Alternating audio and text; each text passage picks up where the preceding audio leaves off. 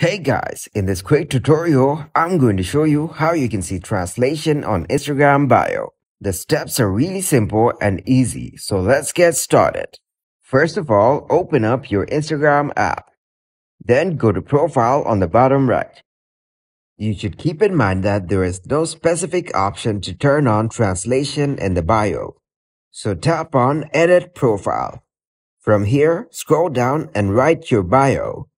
Here, you need to write it in another language, so I'm using German for an example. And then tap on Done. Tap on the tick icon on the top right. And now, as you can see, my bio has been changed.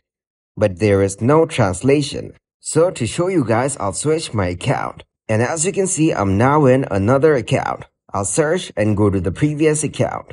And here, as you can see, the option to see translation has automatically appeared. So if the language is anything other than English, you'll get to see the option. There's no option to add it separately. And if you tap on see translation, you'll get to see the English version of it. So that is how you add see translation on Instagram bio.